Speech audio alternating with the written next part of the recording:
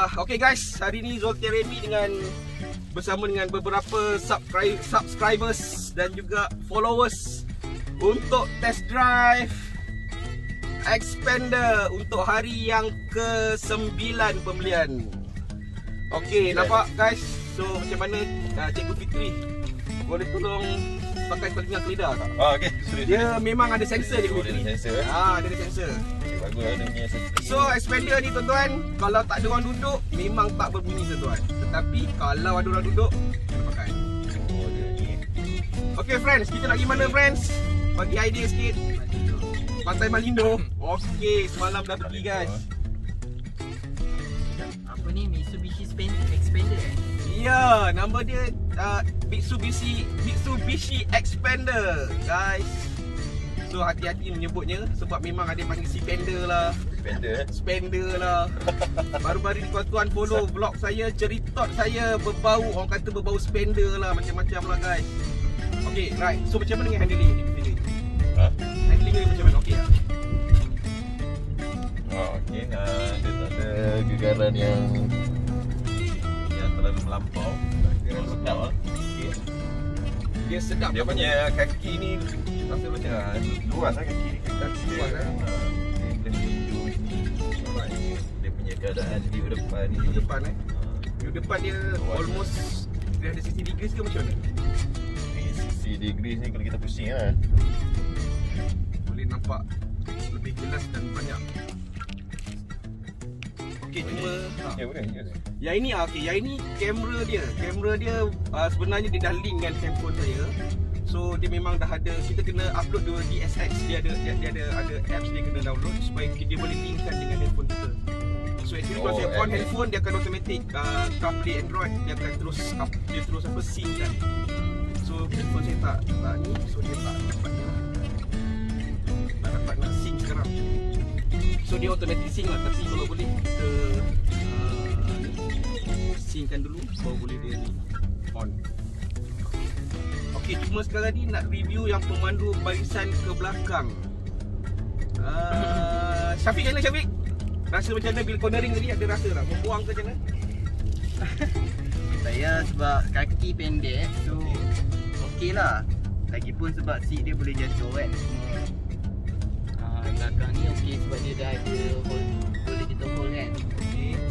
Dan tengok pun ada still ruang belakang ni untuk isi macam mana rasa macam mana dia? Anak saya komplain. Uh, Yang lelaki dia komplain bila corner abah dia ada goyang-goyang sikit lah Because tu lah. So okay kita tengok. Kita tengok cornering eh? Cantik guys. Tak ada kereta guys. Ada motor polis guys Alright So ada rasa tak? Ada ah. Okay now kita tengok acceleration, acceleration dia pula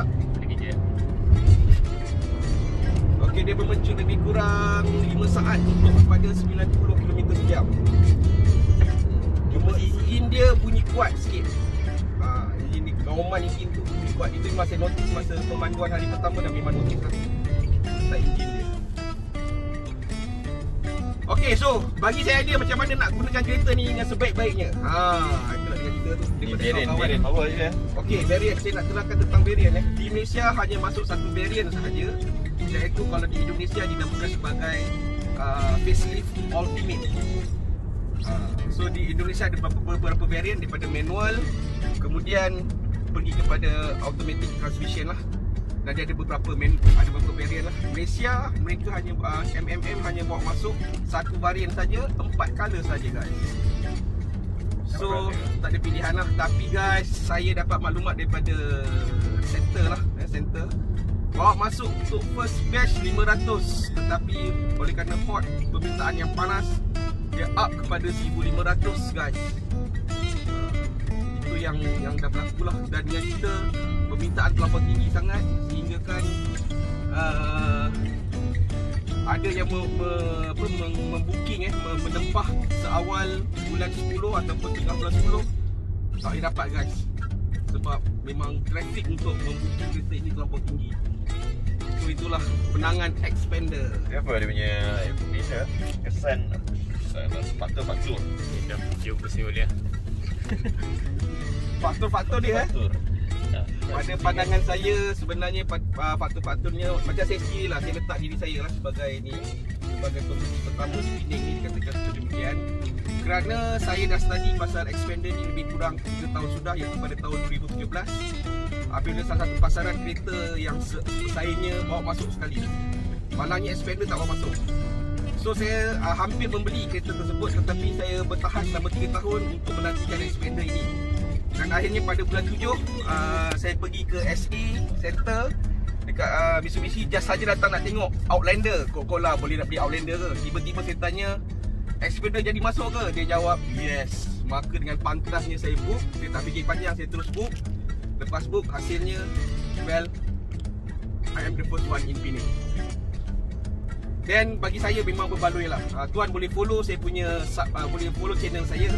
Uh, Terutama Facebook saya eh. Dalam Facebook saya saya terangkan dengan detail Bagaimana saya membuat pemilihan Ke atas kenderaan-kenderaan Yang saya sebutkan tadi. So boleh follow. Boleh follow uh, channel saya. Okay dah subscribe ke semua ni yang, yang ada dalam ni? Ya. Terbaik Subscribe, guys subscribe, subscribe. Siapa yang belum subscribe Sophie subscribe Subscribe channel Zocia Remy Dengan Cikgu Fitri Okey, saya nak buat promo sikit. Sebelah saya ada Cikgu Fitri juga uh, YouTuber salah. Dia memang dah lama dalam dalam dalam ni eh, dalam industri Sikit ni. tengok sikit So tolong subscribe Cikgu Fitri punya uh, channel juga dalam uh, macam mana cakap Fitri? Online, okey. Online learning. Uh, okey. Dan beliau bukan pakar matematik lah, cikgu yang expert tentang matematik. So follow channelnya. Okay guys, so setakat sini sajalah kita punya uh, pandu uji Zotia Remy bersama dengan rakan-rakan followers and subscriber. Jumpa lagi dalam channel yang seterusnya, dalam vlog yang seterusnya. Assalamualaikum, saya Zotia Remy. Jumpa lagi. Terima kasih kerana subscribe dan menonton channel saya. Assalamualaikum. Bye bye.